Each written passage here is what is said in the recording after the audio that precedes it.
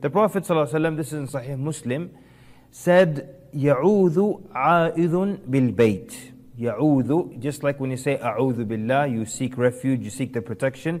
So, uh, يعوذ عائذ بالبيت. So someone seeks the protection with the house, meaning the Kaaba in Mecca. Or the more correct translation, a person will seek refuge at the house, meaning the Kaaba in Mecca. فَيُبْعَثْ إِلَيْهِ بَعْث So an army will be sent to him, meaning sent to kill him. So فَيُبْعَثْ إِلَيْهِ بَعْث فَإِذَا كَانُوا بِبَيْدَاء مِنَ الْأَرْضِ So when they reached the open ground, okay, and then an area called the Bayda, which is a, an, just an open area, open space with no houses in it. خُسِفَ بِهِمْ The earth will swallow that army up. Alright, so someone seeks protection at the house, and then an army is sent to destroy him, and when they reach this open area of Bayda, the earth will swallow up that army. قيل يا رسول الله To the companions they asked, يا رسول الله فكيف بمن كان كارها What about those that were coerced to be part of that army? So the earth swallows up the whole army. Not everybody's a bad guy there. What about those who were forced to come out with this army? They didn't want to, but they're just compelled. They say, okay, I'm going to go, but I'm not going to do anything. I'm not going to hurt anybody. And then when they get to this open area, the earth swallows them up. What about these people?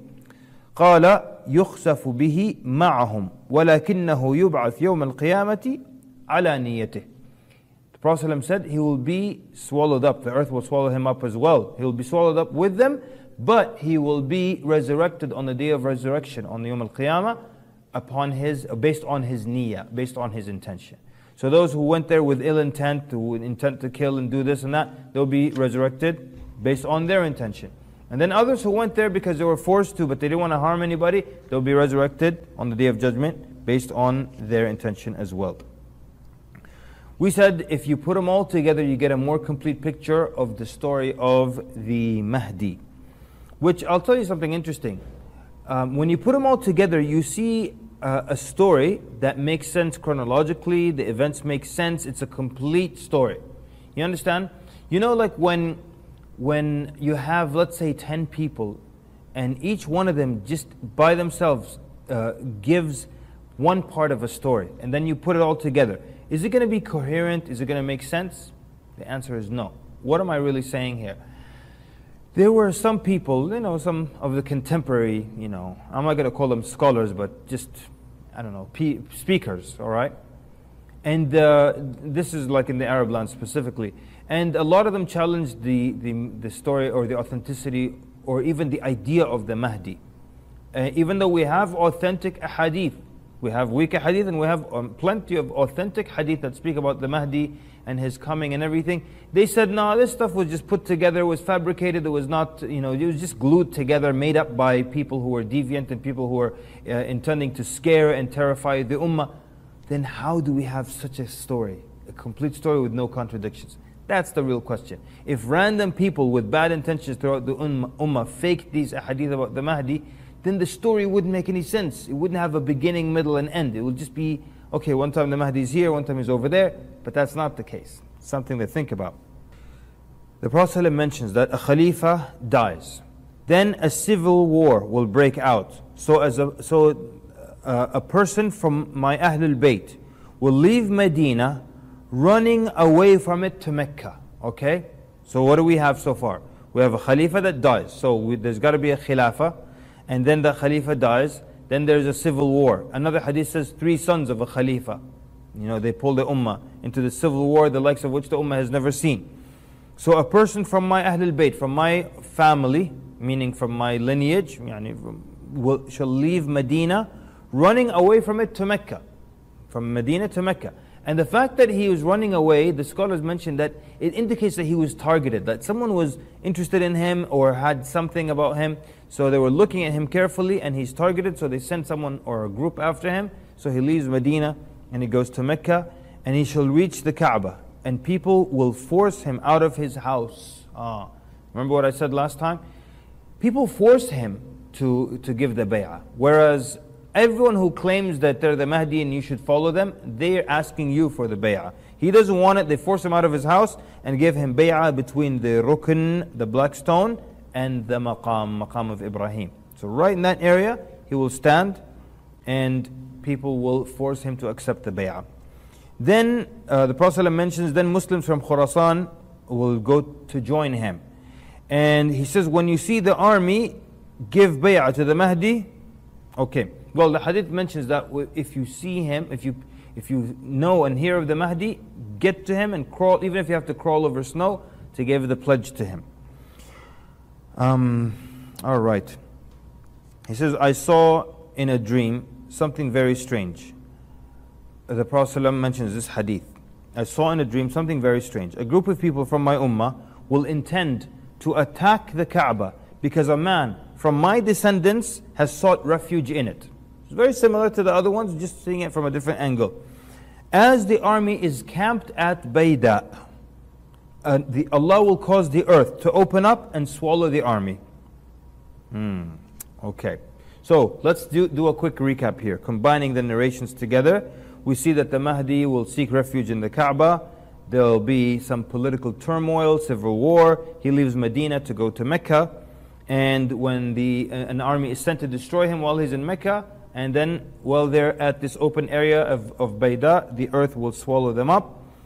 And uh, then he will lead, then people will give him bay'ah between the black stone and the maqam of Ibrahim then people will, we said unanimously, just everyone will know this is the Mahdi. There will not be, you know, people on the sidelines, and righteous people. Is that him or not?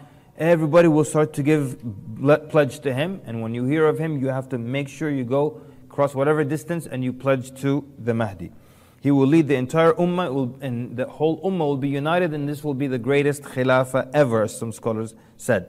He will give money to everyone and he will, uh, you know, there'll be peace and there'll be, you know, you know what is it, safety and all that for the first time in a long time. In Sunan Abu Dawood, the Prophet mentions يَمْلِكُ سَبْعْ sinin. He will rule for seven years.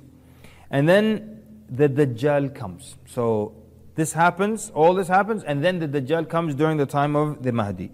And the Mahdi then, even though he knows he cannot kill the Dajjal, he puts together an army and they fight against him on day one. Now, with the Dajjal and stuff, of course, we're going to get to all these details when we get to the Dajjal. But our point today was the Mahdi. And then, uh, on, so they have a fierce battle against the army of the Dajjal. Then on that, so they go, they go to sleep at night. That morning, that Fajr, they make the Iqamah. And right before the Mahdi, you know, moves forward to lead the Salah, all the believers, they look up and they see Isa alayhi salam, Isa ibn Maryam coming down and the Prophet specifically mentioned with one hand on the wing of one, one angel, the other hand on the wing of another angel. He describes the garment he'll be wearing, its color, his hair, what it looks like, and he comes down right amongst the believers. And so they rush to him. They rush to, to Isa alayhi salam. And he wipes over their faces and he tells them their, their rank, their place in Al Jannah. And then Al Mahdi tells Isa ibn Maryam, Taqaddam ya Ruh Allah. But Isa ibn Maryam pushes him from his shoulder like this and he tells him the Iqama was made for you. Now, a number of things here. One, why is that? Why does he lead, why does the Mahdi lead the great Prophet Isa alayhi salam? Because number one, the scholars mention that the Mahdi has the Quran. And Isa salam has the Injil. And which one is superior? No doubt it is the Quran. Two, they said to indicate that he's not coming as a new prophet.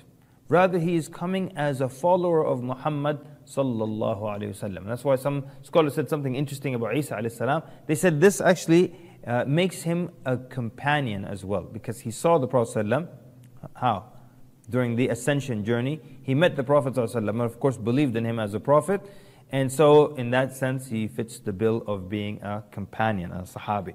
I said that in class one time, and a student put their hand up and said, Okay, and the people who see Isa, do they become the tabi'een? And of course, the answer is no. Um, uh, but also, so those are the two reasons. The third one is that also as, a, as respect that this man assembled this whole army and he is leading them, and they already made the iqamah for him. So as respect, he let him lead. And what's interesting is after this point, we do not have a single word about the Mahdi after this. Not a single word about the Mahdi. We don't know if he lives until the time of Isa continues living and just goes into retirement, has children, gets married. We don't know if he dies. We don't know anything about him after that. And the explanation is now the real star, Isa alayhi salam, has, has shown. So mm, at that point, really, nobody cares about the Mahdi.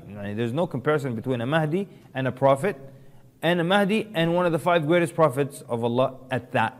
So, um, but since we're more or less kind of done with the Mahdi, let's look at some other quote unquote Mahdis that have um, that have shown up in, in, in history. All right. There was, uh, let's start with what we mentioned last time that some of the, the Rafidis, what they used to be called back then, today we call them the Shia, claimed that uh, the Mahdi is the last of their 12 Imams. So these are the 12 Shias. The Mahdi is the last of the 12 Imams, and his name will be Muhammad ibn al Hasan al Askari. And they believe he's from the descendants of, of Al Hussein, not al Hassan, as we Sunnis believe. They believe that he entered the tunnel of Samarra in the year 260 after the Hijrah. Yani the Mahdi was alive.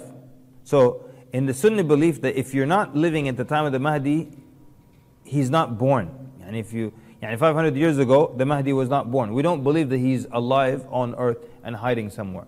But these people here, they said that he went into this cave in Samarra in 260 after the Hijrah. So he was alive, went into that cave, and he's not going to come out until it's time to come out. One very important thing to remember when you do something like that, like that or extreme Sufis who say Al Khadr, the Prophet Al Khadr who, was, who met with Musa, is still alive when you say the Mahdi is alive and well, or the Al Khadr is still alive and amongst us, or like some extremists also say the Prophet ﷺ is still alive and he was here and he prayed with us and all that. I'll tell you a story. There was uh, one of uh, one of the, the that I studied with. He was in Medina. He said, and uh, after the salah, we prayed there, and after the salah, I saw someone turn towards the Prophet ﷺ and make dua said the guy was a redhead, so I thought he was a Westerner. So I went to speak to him. So when I got to him, it turns out he's Arab, just looks like that. And he said that uh, he, I told him, Ya we should always make our dua to Allah Azza wa and to Allah subhanahu wa ta'ala alone. Do not pray to anyone else, no intercessors, nothing. And because, as you know, the Prophet has passed on, and he tells him, No, the Prophet is not dead. The Prophet is amongst us, and he actually just prayed Isha with us. So like, how, what do you say to someone like that? So the Sheikh just said, Prophet just prayed the Isha with us? He said, yeah. He said, then why don't you make sure that he led the Salah?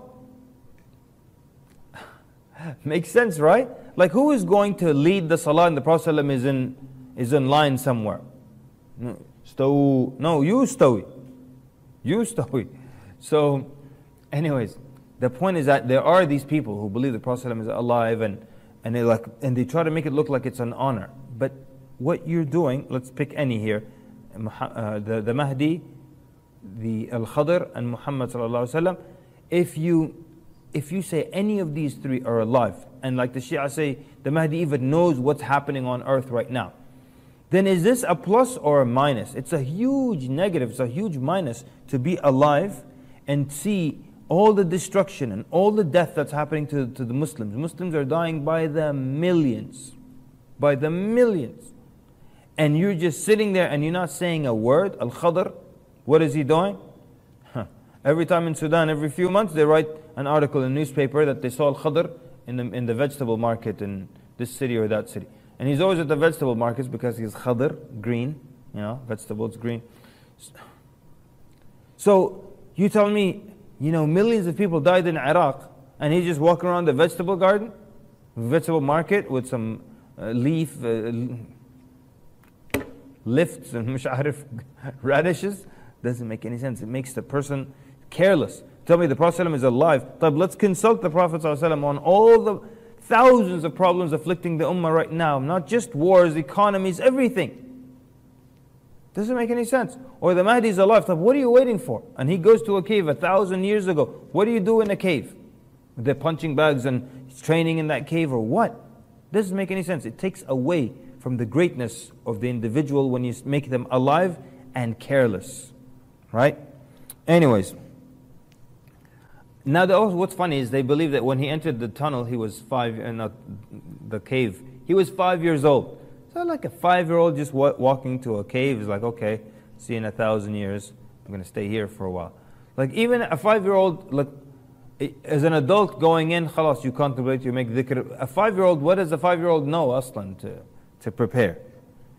Anyways, that was some belief about the Mahdi. Others, uh, there was uh, a man who said by the name of Abdullah ibn Saba, and he claimed that Ali ibn Abi Talib was the awaited Mahdi. And um, poor Ali radiallahu anhu, they said he was the Mahdi. All right, they said he was supposed to be the, the not the Khalifa, the Prophet. Then they said, astaghfirullah, some group during his lifetime said he was Allah, astaghfirullah. Then some people said he was the Dabba. The Dabba is the beast that comes towards the end of time. We're going to talk about it inshallah. They said he was a Dabba. And the scholars argue there's no, there's never a time, ever, in the Arabic language when you refer to a human being as a dab. But they're just trying to make Ali radiallahu everything. The third, um, this man by the name of Mukhtar ibn Ubaid al-Thaqafi, he claimed that Muhammad ibn Hanafiya was the Mahdi. Of course, Muhammad ibn Hanafiya never said that. But we kind of mentioned that last time. We said Muhammad ibn Hanafiya was the son of Ali ibn Abi Talib. But from not from Fatima, from another woman. Her name was Khawla bint Ja'far. Khawla bint Ja'far, she was his mother. And she was from Banu Hanifa, so she became, he, she was known as Al Hanafiya, so he became known as Muhammad, the son of Al Hanafi. Of course, he was a righteous man. He never claimed to be the Khalifa, but they, people, or this man specifically, said he was the Khalifa.